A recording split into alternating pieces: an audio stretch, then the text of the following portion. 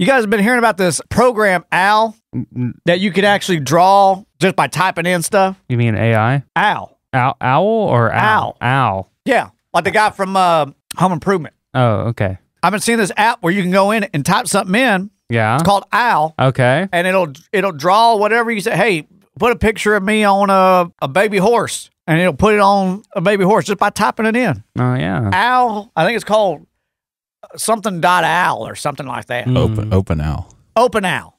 Open Al. That's it. So check that out, guys. Uh, it's pretty cool. That Al stuff is, I mean, it's wild. Wild.